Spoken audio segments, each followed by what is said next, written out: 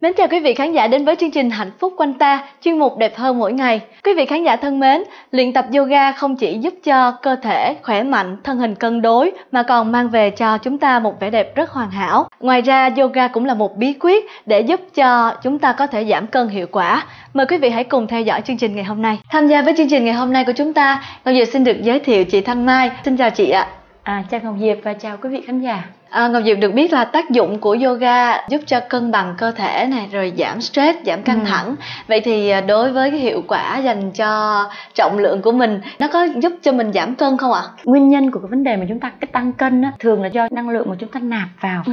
nhiều hơn là năng lượng chúng ta tiêu hao. Dạ. Ví dụ như một ngày trung bình tùy vào à, thể trạng à, cân nặng của chúng ta và chiều cao thì chúng ta sẽ có cái lượng nhu cầu calorie khác nhau. Nhưng mà trung bình với bản thân Mai thì Mai chỉ cần khoảng độ là một ngàn tư ngàn hai đến ngàn tư kilocalorie một ngày và đồng thời khi mà chúng ta luyện tập thì à, sẽ giúp cho chúng ta thứ nhất là dẻo dai này sức khỏe được tốt hơn này ừ. và đồng thời nữa là chúng ta cũng đốt đi những cái lượng calo mà chúng ta đã nạp vào một yeah. cách dạ. gọi là nó nó hơi quá mức thì một lần chúng ta tập yoga thì có thể tiêu hao khoảng độ là 200 300 yeah. 400 kilocalorie trong một lần tập yeah. Dạ. một tiếng đồng hồ nghĩa là khi mà chúng ta tập thì chúng thấy là tay chân cơ thể chúng ta được săn chắc hơn ừ. à, có thể là ký cũng không thay đổi ừ. nhưng mà rõ ràng là uh, Thịt cơ nhiều. của chúng ta nạc của chúng ta nhiều hơn là mỡ. Dạ. cái rất là tốt nhiều lắm yeah. rồi vòng bụng cũng cũng thon thả hơn thì ờ, yoga là một trong dạ. số bộ môn thể dục thể thao luyện tập sức khỏe rất là tốt mà chúng ta nên ừ. theo vậy thì uh, chắc chắn là chị Thanh Mai cũng sẽ chia sẻ những cái động tác làm sao cho vừa đơn giản vừa không quá phức tạp lại uh, giúp cho các chị em có thể được uh, thể trạng như ý như là ừ. chị chia sẻ vừa rồi chúng ta phải chú ý ngay cả cái chế độ ăn uống chế dạ. độ dinh dưỡng sinh hoạt cũng như là chế độ luyện tập dạ. à, và mai xin chia sẻ với quý vị à, một động tác mà cũng có thể giúp chúng ta thon gọn một phần nào đó cho cái vùng eo của mình. Ừ. à, mà ừ, mọi người hay gọi là tư thế con mèo. Tư thế con mèo. Hít vô nâng chân phải lên cao. Thở ra đầu gối hướng về phía trái. Chúng ta làm 10 lần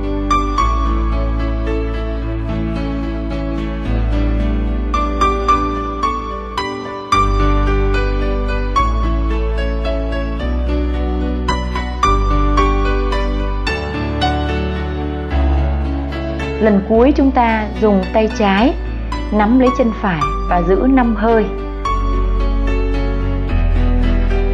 Đổi bên.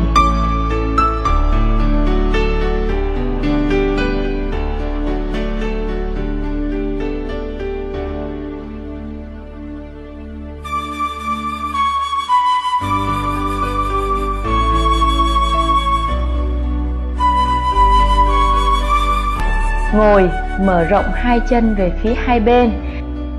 Đưa hai tay sang bên, hít vô, nghiêng người qua phải. Thở ra vị trí trung tâm.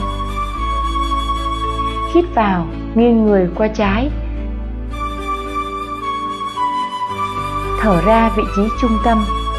Chúng ta làm 10 lần.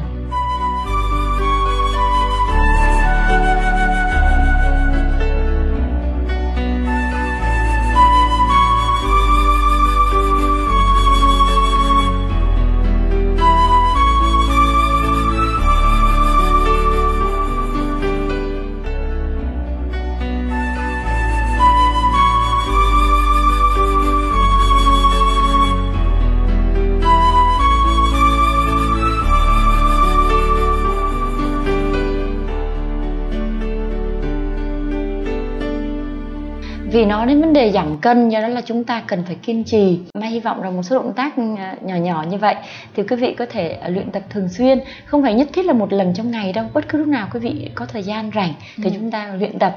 Nhưng mà chú ý một chút là chúng ta cũng phải chế độ à, ăn uống.